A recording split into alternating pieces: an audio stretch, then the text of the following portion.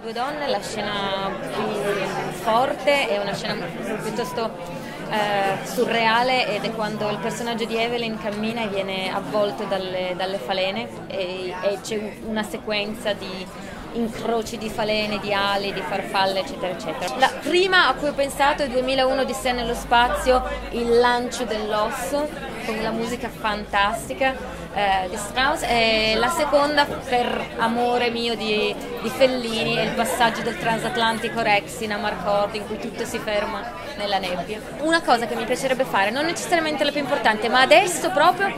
una cosa completamente diversa, vorrei fare un film o di fantasy o, fa- o fantascienza ed essere un personaggio di quelli fantastici, tipo un elfo, una cosa strana e fare cose molto, diciamo,